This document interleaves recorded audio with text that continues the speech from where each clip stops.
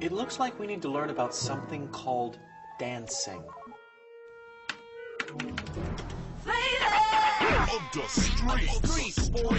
It appears to be caught in some sort of strange gravitational pull.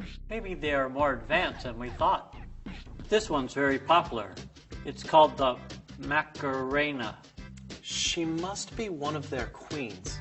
This must be a worship dance to her.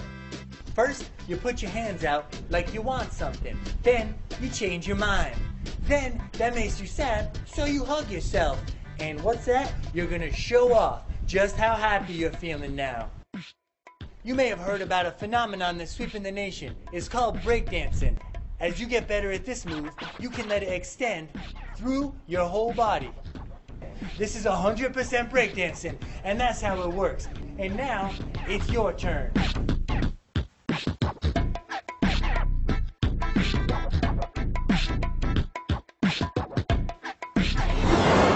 summer.